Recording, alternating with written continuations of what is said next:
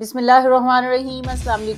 आज बनाने जा रहे हैं चिकन बिरयानी। अगर आपसे चिकन बिरयानी की रेसिपी परफेक्ट नहीं बनती, अगर आपके चावल जुड़े जुड़े रह जाते हैं, या चावल में बाज़ दफ़ा होता है ना कि जायका नहीं आता फीके फीके से चावल रह जाते हैं बिरयानी के, कभी होता है कि चावल ना दब जाता है और बहुत फूलता नहीं है। तो ये सारे वाले इशू आज डिस्कस करेंगे, टिप्स और ट्रिक्स के साथ आपके साथ शेयर करेंगे रेसिपी। तो यहाँ पे जनाब एक कप कुकिंग ऑयल हमने ले लिया है, कप भर के ऑयल डाला है और उसमें एक बड़े साइज़ की प्याज जैसे ही हल्की से टिप्स इसकी गोल्डन होना शुरू हुई ना तो हमने दो तीन खड़े मसाले जैसे एक बादियान का फूल, लौंग दारचीनी एक बड़ी इलायची, ये हमने शामिल कर देना है और साथ ही टेबल स्पून भर के लहसन का पेस्ट डाला है। लहसन का पेस्ट जब आप डालें ना, उसको एक से डेढ़ मिनट पकाना बहुत ज़रूरी है ताकि उसका कच्चापन ख़त्म हो जाए। उसमें थोड़ा सा पानी ऐड किया है ताकि ये जले नहीं। तो बिरयानी के साथ मैंने बताया ना छोटी छोटी टिप्स आपके साथ शेयर करेंगे। आधा किलो हमारे पास चावल है। चावल बिरयानी का जब भी आप लें ना, कोशिश करें कि अच्छे ब्रांड का लें, ताकि वो बिरयानी में अच्छा सा चावल दिखे। तो यहाँ पे हमने डाल दिया है सफ़ेद ज़ीरे का पाउडर। एक टीस्पून डाला है। और अब अदरक का पाउडर डाला है एक टीस्पून। जब लहसन और प्याज वगैरह पक चुका ना, उसके बाद ये चीज़ें डाली हैं और सब्ज़ मिर्चें, ये मैंने पेस्ट बना के फ्रीज़ किया हुआ है तो दो एक सब्ज़ मिर्चों का पेस्ट मैंने बना, डाल दिया इसमें। और अब डाला है टमाटर। दो अदद बड़ी साइज़ के टमाटर हैं। यहाँ पे हमारे पास आधा किलो चिकन चावल है और आधा किलो ही चिकन है। तो ये वाली रेसिपी आपके साथ शेयर कर रहे हैं। इसमें पाँच अदद जो आलू बुखारा है, खुशक वाला, वो हमने एक घंटा पहले गर्म पानी में भिगो के वो डाला है और कुटी हुई लाल मिर्च एक टीस्पून, मिक्स गरम मसाला एक टीस्पून और खुशक धनिया पाउडर डाला है एक टीस्पून। यहाँ पे चिकन जो है ना, बिरयानी में जब भी आप चिकन देखें थोड़े से बड़े पीस होते हैं। उसका क्या होता है कि बड़े पीस के अंदर एक तो जायका नहीं जाता, दूसरा अंदर से कभी कभी थोड़ा सा कच्चापन फील होता है या फिर चिकन बहुत हार्ड हो जाता है। इस सारे प्रॉब्लम को दूर करने के लिए ना आपने कट्स लगा लेने हैं। चिकन के जो भी बड़े पीस हैं, जिन पे बड़ा थोड़ा गोश्त है, मोटे वाला, उस पर आपने कट्स लगा लेने हैं। इससे एक तो जायका स्पाइसेस का अंदर तक चला जाता है, दूसरा पक बहुत अच्छा जाता है। तीसरा देखने में भी अच्छा लगता है। तो दो टीस्पून हमने इसमें डाला है नमक। नमक आप इतना डालें कि ये वाला जो मसाला है ना चिकन का, इससे थोड़ा सा तेज़ नमक होना चाहिए। फिर बिरयानी में परफेक्ट आएगा। इसकी क्या रीज़न है वो मैं आपको बाद में बताऊँगी। हमने ढांप दिया है चिकन को ताकि अपने पानी में ये पकता रहे और दूसरी साइड पे 300 ग्राम, साढ़े तीन सौ ग्राम बल्कि पानी हमने डाला है, लीटर सॉरी साढ़े तीन लीटर हमने पानी डाला है। और उसमें खड़े मसाले डाल दिए हैं, ज़ीरा, सफ़ेद एक टेबल स्पून बादियान का फूल एक और दालचीनी एक स्टिक डाली है, बड़ी इलायची एक और काली मिर्च डाली है साबत आठ से दस अदद। नमक हमने पानी के मुताबिक डालना होता है। पानी हमारे पास चूँकि ज़्यादा है तो हमने तीन से चार टीस्पून डाल देना है। इतना कि ये पानी में भी अच्छा खासा तेज़ नमक फील हो हमें। उतना आपने नमक ऐड कर देना है। बेशक आप पानी को चेक कर लीजिएगा चख के। तो तेज़ नमक होना चाहिए, फिर बराबर आता है बिरयानी में। और साथ ही मैंने सिरका डाला है, दो टेबल स्पून उससे चावल बहुत खिला खिला बनता है। सिरका और नमक, ये वो चीज़ें हैं। थोड़े से मैंने ना इसमें अनारदाना भी डाला है साबत, और उससे ये कलर इसका चेंज हो गया है पानी का। लेकिन इससे क्या होगा कि जायका एक तो चावल में बहुत अच्छा आएगा इन सारे मसालों का। वो जो रूखा रूखा फीका फीका सा चावल होता है, वो नहीं होगा। और दूसरा चावल हमारा बिल्कुल जुड़ेगा नहीं और चिपकेगा नहीं एक दूसरे में खिला खिला सा चावल बनेगा सिरके की वजह से। और यहाँ पे चावल डालते हुए एक और टिप है कि आपने फ़ौरन से चावल को अच्छी तरह मिक्स कर देना है हिला जुला देना है ताकि ये एक ही जगह ना पड़ा रहे। एक ही जगह जो भी चावल पड़ा रहेगा ना, वो आपस में जुड़ेगा और उसका एक पूरा बंच सा बन जाएगा। तो यहाँ दूसरी साइड पे चिकन हमारा कुक हो रहा है। आप देखें यहाँ पे तकरीबन कोई आठ मिनट हो चुके थे और पानी हाँ ये एक जो टिप है, ये बहुत इंपॉर्टेंट है। हमने जब भी बिरयानी बनानी है ना तो 85 परसेंट तक हमने चावल पकाना है और 15 परसेंट कच्चा रखना है। तो उसके लिए क्या है कि ये जो हमारा चिकन का मसाला है ना, उसमें कम अज़ कम दो कप के जितनी ग्रेवी पानी होना चाहिए। अगर इसमें पानी कम होगा ना तो बिरयानी का चावल जो है वो आपका थोड़ा सा कच्चा कच्चा फील होगा, ऊपर वाला जो चावल है वो सख्त रहेगा, नीचे वाला नरम हो जाएगा और इतना अच्छा जायका नहीं आएगा। तो ये वाला इसलिए आपने ध्यान रखना है पानी का। यहाँ पे हमने बिरयानी मसाला भी बीच में यूज़ किया है होममेड मसालों के साथ, क्योंकि हम बिरयानी बना रहे हैं चटपटी। और यहाँ पे मैंने डेढ़ टी स्पून इसमें डाल दिया है बिरयानी मसाला। थोड़ा सा एक टीस्पून के जितना आगे भी जाके हम यूज़ करने वाले हैं तो ये वाला मसाला डाल के फिर से इसको एक दफ़ा ढाँप देंगे ताकि इस मसाले का भी अरोमा कि चिकन के अंदर अच्छी तरह से आ जाए। और ये आप देखें, पानी अभी तक भी इसमें है। आपने पूरा चिकन हल्की आँच पे मैंने इसकी कुकिंग की है, मीडियम लो आग पे, ताकि पानी ज़्यादा ना ड्राई हो। दूसरी तरफ़ चावल बॉयल हो रहे हैं।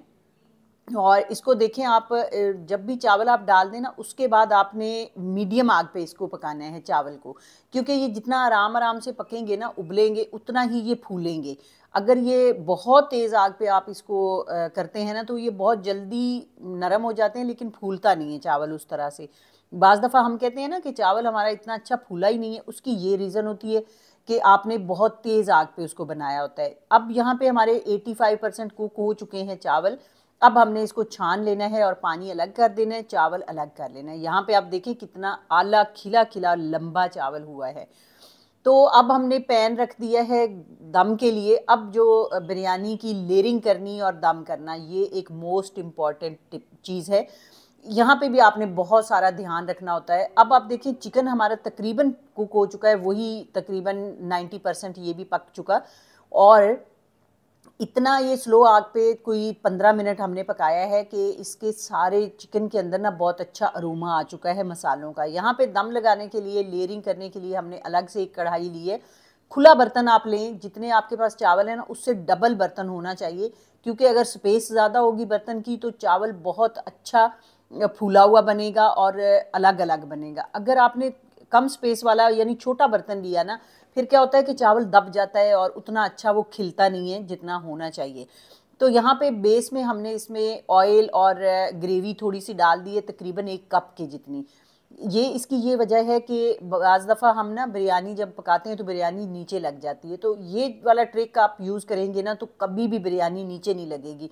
फ़र्स्ट लेयर अगर चावल की आप लगाएँ तो फिर बिरयानी नीचे लगने का अमकान होता है। तो हमेशा से थोड़ा सा नीचे ग्रेवी आप ज़रूर डाल दिया करें। अगर आप ग्रेवी नहीं डालना चाहते ना तो नीचे ऑयल ग्रीस कर दिया करें फिर बर्तन पे, फिर भी रह जाता है ठीक। लेकिन ग्रेवी अगर आप इस तरह डालें ना तो बेस्ट है। पूरे चावल एक ही दफ़ा ऊपर डाल दिए हमने, और इसके बाद हमने इसमें डाल देना है जो चिकन का मसाला पूरा हमने रेडी किया था। वो हमने डालना है, ये हमने एक ही लेयर ऊपर डाली है। लेकिन आप देखिएगा कि इसमें भी ना, बाज़ लोग कहते हैं कि हम चिकन ऊपर डालें तो चावल अंदर दब जाता है वज़न की वजह से। चिकन के और वो इतना खिला हुआ नहीं बनता, लेकिन आप देखिएगा ये वाला चावल। अब यहाँ पे हमने डाला है मसाला एक टीस्पून किसी भी ब्रांड का आप ले लें बिरयानी मसाला। और लेमन स्लाइस दो स्लाइस लेमन के, दो लेमन के हमने करके वो डाले हैं, टमाटर के कुछ स्लाइस हैं। और इसका आगे हमने डाला है थोड़ा सा इसमें पुदीना। पुदीना जो है वो मोस्ट इंपॉर्टेंट है। अगर आप पुदीना डालते हैं, उसकी खुशबू एक तो बहुत आला हो जाती है। दूसरा इसका जायका बड़ा अच्छा आता है बिरयानी के अंदर। तो यहाँ पे हमने एंड में डाल देना है बिरयानी। एसेंस मैंने डाला है। थोड़ा सा अगर हो तो डाल लीजिएगा, नहीं तो कोई इशू नहीं है। और आखिर में जरदा रंग, एक टीस्पून जरदा रंग थोड़े से पानी में डिप करके हमने डाल दिया। और ये जनाब देखें, आप कितनी अच्छी सी ऊपर से कोटिंग हो चुकी है चावलों की, पूरी चिकन, मसाले और इनके साथ। और अब जो आपने इसके ऊपर ढांपना है ना, वो भी दो तरीके हैं। या तो आप अखबार लगा लीजिएगा, या तो आप किचन टावल लगा लीजिएगा। हाँ उससे पहले मेन जो टिप है, अगर आप चाहते हैं ना कि आपकी बिरयानी बहुत ही अच्छी जायके की, अच्छे रोमे वाली आए तो आपने ये ट्रिक यूज़ करना है। दही मैंने यहाँ तीन चार टेबल स्पून डाला है। और उसके ऊपर मसाला डाल दिया है। दही आप इसमें डालेंगे ना तो बहुत ही आला फ्लेवर आएगा आपका, या तो आप इसकी जगह देसी घी भी डाल सकते हैं। तो यहाँ पे अगर आप एटी फाइव परसेंट अगर आपका चावल है ना पका हुआ और दो कप के जितना आपका पानी ग्रेवी में है तो आप ऐसे ही खुशक कपड़े से दम लगाएँगे। अगर आपका पानी नहीं रह गया ना, उसमें मसाले में कम रह गया तो फिर आप कपड़े को थोड़ा सा गीला कर लेंगे। अखबार से दम लगाएँ, कपड़े से लगाएँ, उसको आप थोड़ा सा गीला कर लेंगे। तो इसका आधा घंटा हमने दम लगाया है। टाइम भी ज़रूर नोट रखें, बिल्कुल हल्की आँच कर दीजिएगा और आधा घंटा आप ज़रूर दम लगाएँ ताकि ये जो चावल है ना, उसमें पूरे ये हमारी स्पाइसेस जितने भी हैं चिकन है, उसका अरोमा आ जाए। अब यहाँ पे आप देखें, बिल्कुल नीचे नहीं लगा, ज़रा भी चावल खिला खिला हुआ है। हमने हालाँकि पूरा चिकन ऊपर डाला था, लेकिन आप देखें कि चावल दब के ना वो एक चिपका चिपका सा नहीं बना। बिल्कुल खिला खिला सा अलग अलग दाना बना है और बहुत ही मज़ेदार ये बिरयानी बनी थी। इसको ना, ये वाली बिरयानी जो है, ये बेसिकली मैंने बनाई थी अब्दुल्ला की बर्थडे पे। और जितनों ने भी ये बिरयानी खाई थी सबने बहुत तारीफ़ की थी, सबको बड़ी पसंद आई थी कि ये क्या आपने बॉम्बे बिरयानी या हैदराबादी बिरयानी आपने क्या खाई और क्या आपने ये बना ली, एक ही जायका आएगा आपको। और चटपटी सी, चटखारेदार ये वाली बिरयानी मैंने बनाई थी। और आप इसको ज़रूर ट्राई करिएगा, रेसिपी अगर अच्छी लगी हो आपको तो इसको लाइक कर दीजिएगा, शेयर कर दीजिएगा अपने फ्रेंड्स और फैमिली के साथ। चैनल पे जो नए हैं, वो चैनल को सब्सक्राइब कर दीजिएगा। और बेल का आइकन प्रेस करके ऑल का ऑप्शन सेलेक्ट कर दें तो हमारी आने वाली वीडियो के नोटिफिकेशन आपको टाइमली मिल जाते हैं। और जनाब, जो खाना है ना, एक तो उसको देखने का होता है, दूसरा होता है उसको खाने का। तो दोनों चीज़ों में अच्छा परफेक्ट दिखना चाहिए। देखने में भी आपका खाना जो है वो प्रेजेंटेबल लगना चाहिए, आँखों को अच्छा लगना चाहिए और खाने में ऑब्वियसली मज़े का होना चाहिए। तो जनाब वीडियो को ज़रूर पूरा वॉच करिएगा और फीडबैक दीजिएगा और इसके साथ ही हमें दीजिएगा इजाज़त। थैंक्स फॉर वॉचिंग अल्लाह हाफिज़।